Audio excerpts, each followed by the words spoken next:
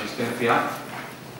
Y esta es la primera asamblea que hacemos, la asamblea pública para explicar qué está ocurriendo y qué es lo que va a ocurrir con la sanidad, porque creíamos que era conveniente y necesario que no solamente la ciudadanía acudiera a las numerosas manifestaciones que se, estaban haciendo, sino que también veíamos que era necesario que comprendieran por qué se estaba haciendo esto y cuál era el presente y el futuro de lo que nos puede acarrear. Por eso hemos hecho esta primera asamblea en la cual hemos hecho como novedad, hemos repartido solamente por el barrio de Rosa Luxemburgo y por el barrio de Los Arroyos, porque creemos que haciéndolo por barrios, pues seguramente la asistencia al tener más cerca el local donde se celebran, pues acudiría más la gente.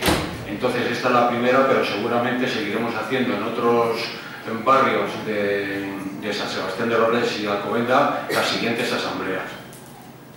Eh, deciros que bueno, la constitución de la plataforma se hizo en enero o febrero del 2013 a raíz de las múltiples eh, reuniones que se estaban haciendo en otros barrios y veíamos que había sido conveniente pues, que en San Sebastián de los Reyes y Alcobienda pues, también existiera una plataforma ciudadana.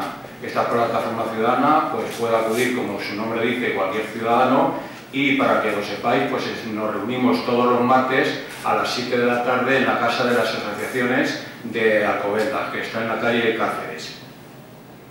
Eh, decir las innumerables movilizaciones que se han hecho desde el mes de octubre sería muy prolijo.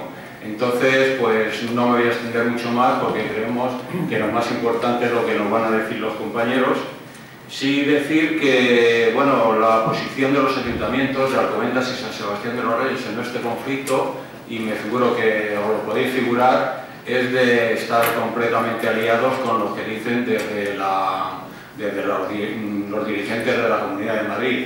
Ellos dicen que ya, ya hemos hecho interpelaciones, han hecho mociones por parte de los partidos políticos y la, contestación siempre es la misma, que estamos en cierta medida pues diciendo cosas a la vecindad para, bueno, pues que, le estamos como agrediendo y que no va a haber ningún cambio en la sanidad pública, que todo va a seguir siendo igual que como hasta ahora. Nosotros le decimos que no, pero bueno, ellos se mantienen en sus 13.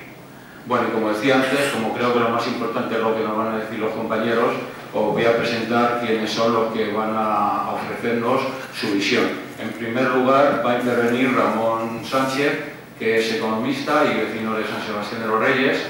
Posteriormente va a intervenir Víctor Gutiérrez Millet, es un hombre bastante conocido, es el ex jefe de nefrología del Hospital 12 de Octubre y visitante de diferentes cadenas de televisión. Y por último, Carmen San José, que es médica de medicina privada, de medicina primaria, de atención primaria en Torrelaguna, ¿no? en Buitrago.